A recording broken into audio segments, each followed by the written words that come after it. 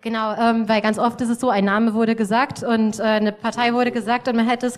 Ich habe äh, einfach irgendwelche Fotos, die ich von euch im Internet gefunden habe, auf diese ähm, Folie draufgepackt.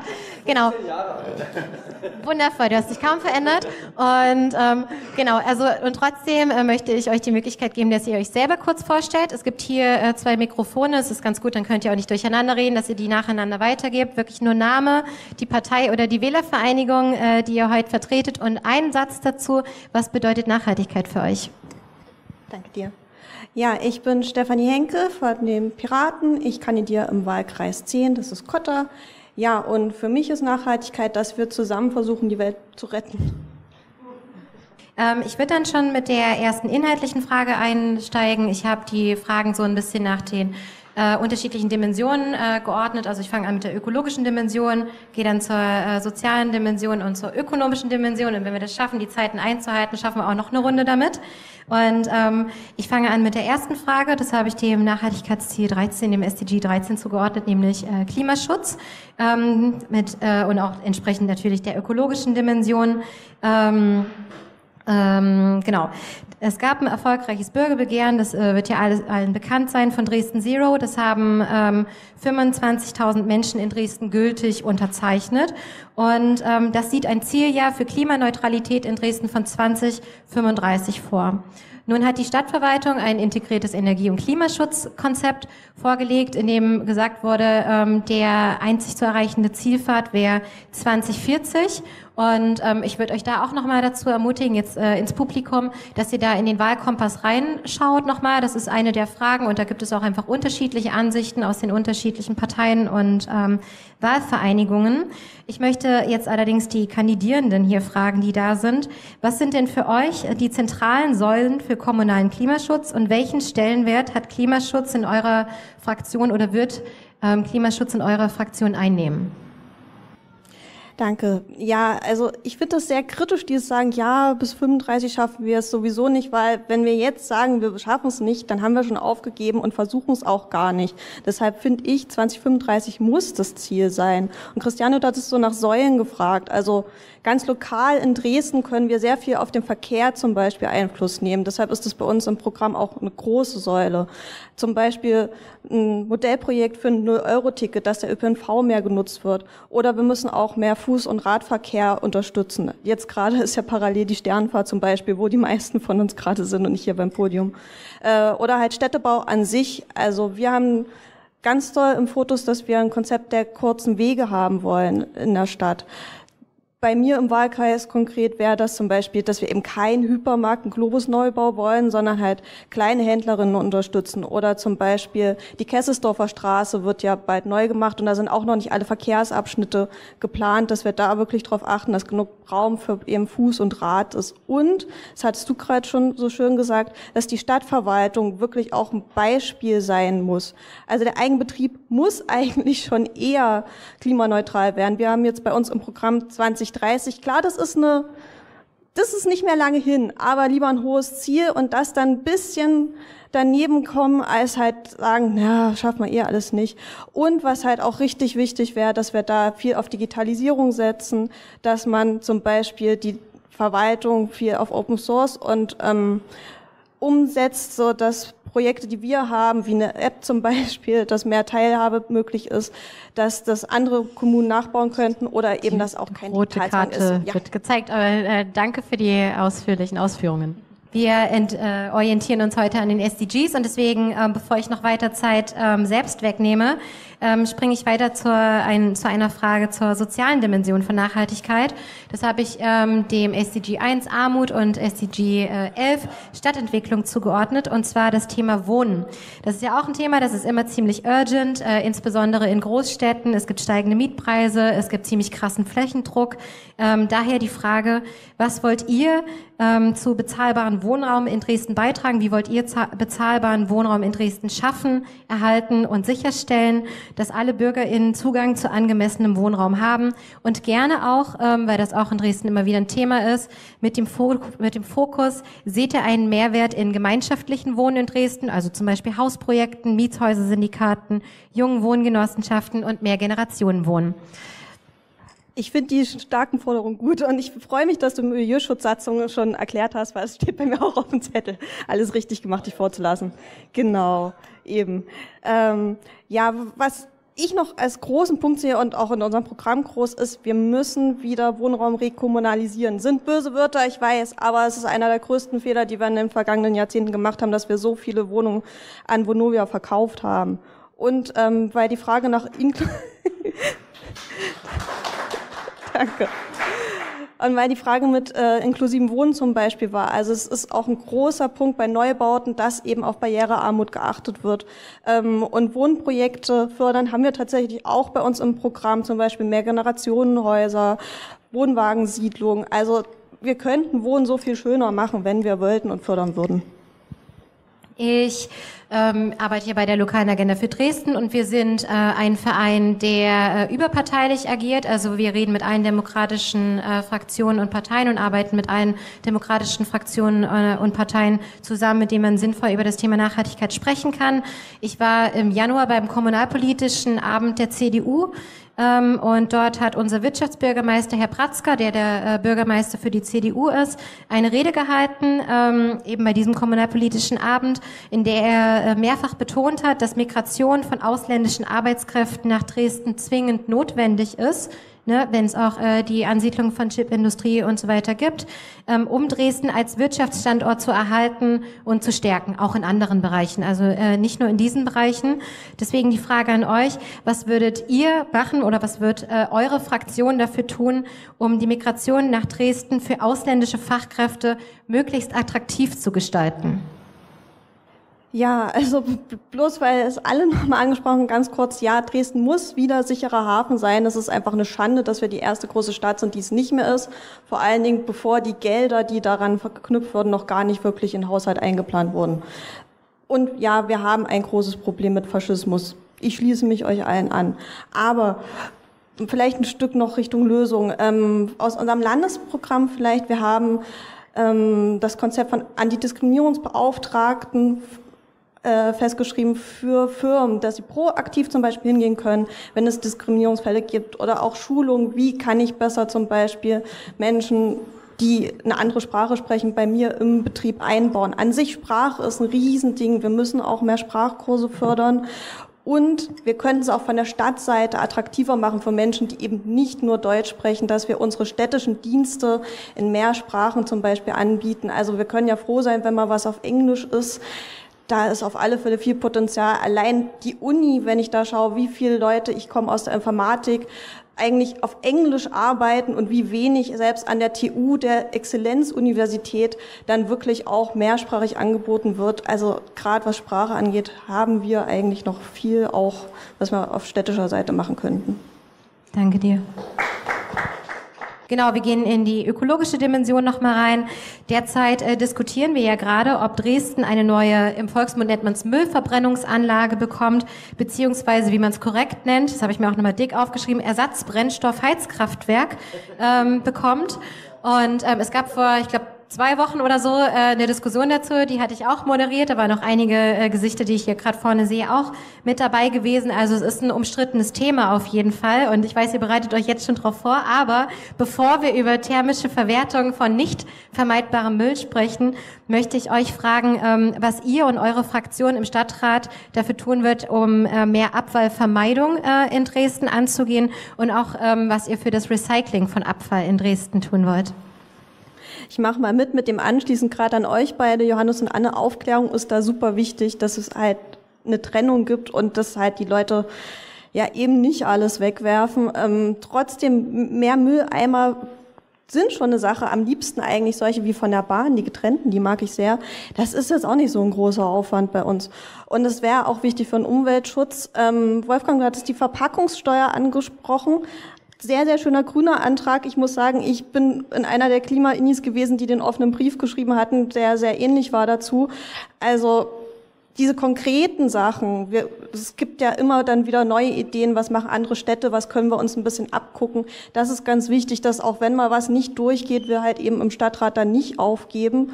Ähm, ja, und wegen der Sache mit, man muss ja groß denken und wir machen zu viel Müll. Was ein Riesenproblem ist, ist auch Elektromüll oder halt äh, gerade so alles Richtung Gummi, wenn wir so an kaputte Fahrräder und sowas denken. Da haben wir jetzt konkret bei uns im Piratenprogramm zum Beispiel, dass wir Reparaturwerkstätten unterstützen wollen.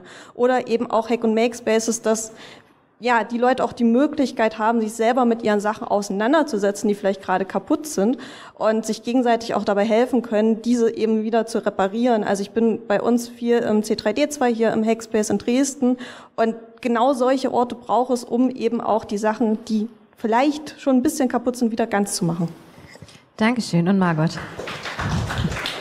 Ich überspringe die soziale Dimension, obwohl ich es äh, extrem interessant gefunden hätte, was ihr zu Geschlechtergerechtigkeit sagt. Aber ein anderes Thema, was mir auch noch ähm, im Thema Nachhaltigkeit auf dem Herzen brennt, ist Thema nachhaltiger Konsum ähm, aus der ökonomischen Dimension, ähm, SDG 12.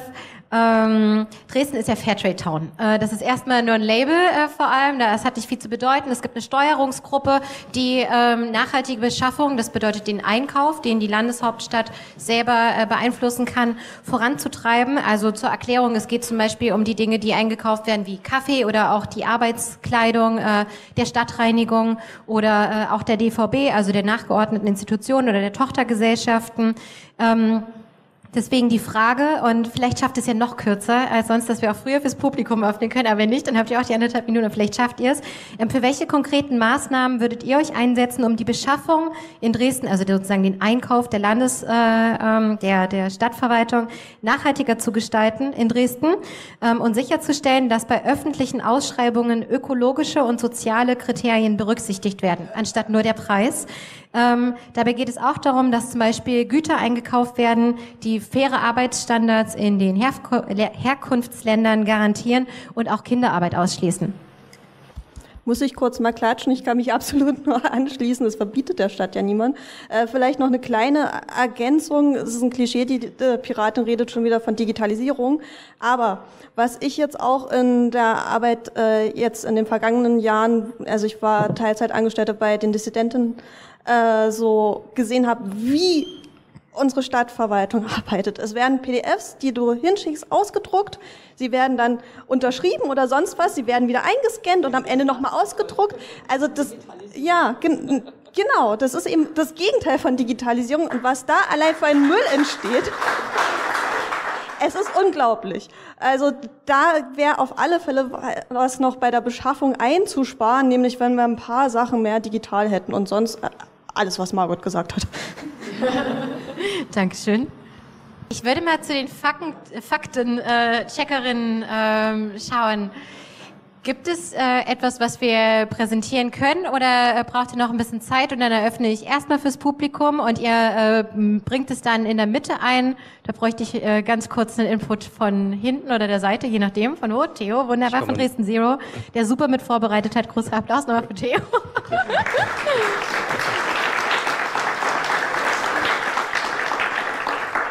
Ich habe gar nicht viel zu sagen, sondern nur, dass die Faktenchecker noch ein bisschen Zeit brauchen und deswegen okay. würden wir vielleicht erstmal mit den Publikumsfragen anfangen und genau. Großartig, genau. Also ihr habt ja schon tatsächlich viele Sachen gehört. Ich habe schon zwei Meldungen tatsächlich gesehen. Äh, ihr könnt äh, zu den, ich würde nur kurz die Regeln erklären, ihr könnt zu den Fragen, die bereits gestellt wurden, ähm, nochmal Fragen stellen, also irgendwo nochmal nachhaken bei bestimmten äh, Kandidierenden. Ihr könnt äh, die Frage einfach so in die Runde geben, das würde ich euch tatsächlich offen lassen. Ihr habt auch die Möglichkeit, aufeinander Position zu beziehen, vielleicht eine Person, die angesprochen ist, plus zwei, drei weitere Wortmeldungen dazu und auch gerne wieder äh, kurz halten. Ja, da wahrscheinlich alle äh, RadfahrerInnen jetzt bei der Sternfahrt sind, frage ich mal hier stellvertretende RadfahrerInnen-Frage. Ähm, an welchen Stellen könntet ihr euch denn vorstellen, dem Auto weniger Platz und dafür, also ganz konkret jetzt in, äh, in Dresden, äh, und dem Rad mehr Platz einzuräumen und wo vielleicht sogar autofreie Zonen einzurichten? Der Griff war sicher zum Mikro, ja. Oh ja, weil ähm, was ganz Konkretes bei mir um die Ecke, was ich mir ganz dringend wünsche, ähm, in Löbter die Malterstraße autofrei, da gibt's tatsächlich schon eine schöne Vorlage von StadtentwicklerInnen. Wir müssen das dann bloß auch so beschließen. Das wäre perfekt für mich. Ähm, und wir haben auch bei uns im Programm gefordert, die innere Altstadt und die innere Neustadt komplett autofrei zu machen. Okay, vielen lieben Dank. Äh, die junge Dame hat sich zuerst gemeldet, dann habe ich hinten äh, das gesehen und dann gab es hier vorne noch irgendwas. Genau dort. Ja. Ja, hallo, Maxi Plamm. Wir versuchen es kurz zu ähm, Ich möchte noch mal gerne auf das Thema, ähm, vielleicht was an Verkehr, aber auch Wohnen anschließt, eingehen zum Thema Bauen. Und zwar habe ich jetzt wieder gelesen, dass das ja auch einen sehr erheblichen Anteil hat an CO2-Emissionen ähm, etc., bis zu 40 Prozent wohl, roundabout. Ähm, deswegen nochmal die Frage, wir haben hier einen großen Zielkonflikt, offensichtlich äh, viele Ansiedlungen in Dresden, wir müssen bauen, Wohnungen schaffen. Auf der anderen Seite ähm, ja, ein großes äh, Nachhaltigkeitsthema, wie hier vielleicht die Lösungsansätze sind. Nur eine ganz kleine Ergänzung. Den meisten Einfluss haben wir auf die Gebäude, die die Stadt selber richtet. Deshalb ist es auch sehr, sehr wichtig, dass wir Wohnraum eben wieder rekommunalisieren. Und bei der Verwaltung, wir hatten es ja schon besprochen, das hattest du gesagt, ist jetzt ähm, eine Photovoltaikanlage wichtiger auf dem Dach, als dass der ähm, Denkmalschutz eingehalten wird. Wir müssen halt auch ganz dringend gucken, dass die Verwaltungsgebäude eben auch klimaneutral werden, da wo die Stadt auch wirklich Einfluss hat. Ja, ich äh, habe äh, ganz am Anfang ist eine Frage bei mir aufgeploppt, äh, als wir äh, von Vertrauen äh, gehört haben. Äh, das, was ich immer mehr spüre, ist einfach, dass das Vertrauen durch nicht vollzogene Klimamaßnahmen mehr verloren geht als durch nicht eingehaltene Ziele. Und da wollte ich mal fragen, wie schätzen Sie denn das auf dem Podium ein? Ist das Vertrauen durch nicht eingehaltene Klimamaßnahmen, das mehr sinkt oder durch verfehlte Ziele? Who wants?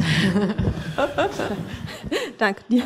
Also ich würde sagen, das Vertrauen geht eher durch nicht hohe Ziele stecken verloren. Also so diese Aufgebementalität, wir schaffen das ja nicht, wir schaffen jenes nicht. Also so empfinde ich's. Ich bin ja auch noch ein Mensch. Also das ist meine Wahrnehmung. Genau, es, es scheint äh, etwas Präsentables zu geben. Und ich muss direkt nochmal fragen, wie dramatisch ist es, wenn wir fünf bis zehn Minuten überziehen, insbesondere an die Technik? Kein Problem, höre ich. Okay, alles klar. Hätte ja sein können, ich wollte es nur nicht entscheiden, ohne euch wenigstens gefragt zu haben. Oder auch äh, alle auf dem Podium, falls jemand ganz dringend auf Toilette muss oder sowas. Gut, ähm, dann machen wir das so. Also ich möchte als erstes allen Beteiligten ein großes Lob aussprechen. Wir haben 42 ähm, Aussagen geprüft. Da war keine Falschaussage dabei. Ein Applaus dafür. Das finde ich, das ist es wert.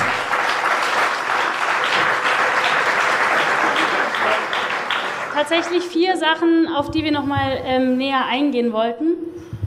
Das nächste ist, ähm, Stefanie Henkel von den äh, Piraten hat gesagt, dass das Wahlprogramm ähm, der Piraten bis 2030 ähm, die Erreichung der Klimaneutralität vorsieht. Äh, das stimmt auch an sich. Also wir haben nur noch mal genau. spezifischer ähm, die Wort, oder die, wie es im Parteiprogramm steht.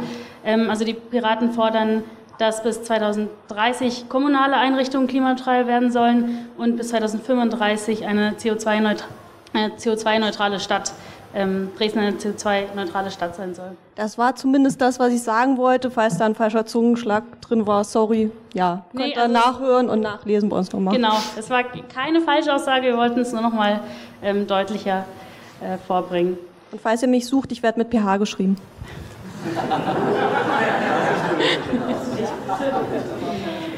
Ähm, auch noch eine Aussage war, die Pflicht zum Bau von Photovoltaikanlagen verteuert bauen und damit auch wohnen. Das ist natürlich eine umstrittene Aussage. Ähm, natürlich ähm, verteuert es erstmal das Bauen, aber dadurch wird natürlich auch Strom ähm, erzielt. Also ist eine das war ich nicht. Also das war ich nicht, da stehe ich so auch nicht hinter. Genau. Erkennst du dich wieder in der Aussage? Nur, dass wir da auch noch mal kurz checken, ob das von dir kam. Nee, also echt nicht. Ja, also du, du, du darfst gerne. Also ich bin vorhin darauf eingegangen, dass äh, wir natürlich, wenn wir eine Pflicht haben für zusätzliche Auflagen, das in dem Moment für höhere Kosten sorgt. Ähm, wie gesagt, wir sind bereits über die Zeit und ich wollte euch äh, trotzdem allen nochmal die Möglichkeit geben für ein mini kurzes Abschlussstatement. Vielleicht schafft ihr es in einer halben Minute. Ähm, wir waren ja bei den SDGs, welches ich nicht genannt habe, ist natürlich mein Lieblings-SDG und auch das Lieblings-SDG, ähm, also das Nachhaltigkeitsziel der Vereinten Nationen ähm, von der lokalen Agenda und zwar Kooperationen und Partnerschaften zur Erreichung der Ziele. Das ist ja das, was wir machen. Wir wollen bündeln in der Stadt und ähm, besten geht es eigentlich, wenn wir zusammenarbeiten. Und ich fand tatsächlich ganz schön auch in der Diskussion, dass ich ganz viel, ich habe konträre Meinungen gehört, aber auch ganz viel Verbindendes gehört. Und ich würde mich richtig freuen, wenn ich das auch im nächsten Stadtrat so wahrnehmen kann. Ähm, als als Dankeschön. Als Abschlussstatement habt ihr nur in jeweils 30 Sekunden Zeit für äh, folgende Frage. Was werdet ihr als Stadtrat dafür tun, um mehr Kooperation und Zusammenarbeit in den Stadtrat zu bringen? Ähm, ich möchte mich sowohl Anna anschließen, dass wir mehr miteinander reden müssen, auch eben über Sachpolitik, als auch Stefan, dass wir mehr die Zivilgesellschaft einbringen müssen. Und weil es auch das Abschlussstatement ist, wir stehen gerade mitten in der Klimakatastrophe. Ganz wichtig, gebt nicht auf, wenn euch jetzt hier irgendwas angesprochen hat. Guckt, ob ihr euch in Parteien engagieren wollt, ob ihr euch in NGOs engagieren wollt. Es ist einfach ganz wichtig, dass wir alle zusammenarbeiten, um das Ganze irgendwie noch zu retten. Dankeschön.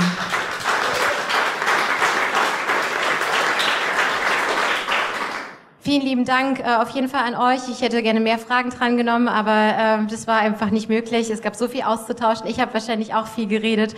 Ähm aber ich möchte euch auf jeden Fall auch nochmal ermutigen, auf jeden Fall äh, entweder Briefwahl zu beantragen und jetzt so schnell wie möglich zu wählen oder am 9. Juni an die Wahlurnen zu gehen. Also die Zusammensetzung des Stadtrates wird tatsächlich ganz entscheidend sein und es gibt halt auch innerhalb ähm, der Parteien, glaube ich, Menschen, das haben wir auch hier gesehen, mit unterschiedlichen Positionen, die auch teilweise abweichen von der ähm, allgemeinen Position der Partei, also nochmal mit äh, Themenspezifika, also da auch wirklich nochmal auf die Namen zu achten, wen man ankreuzen, vielleicht nicht immer nur äh, Listenplatz eins anzukreuzen.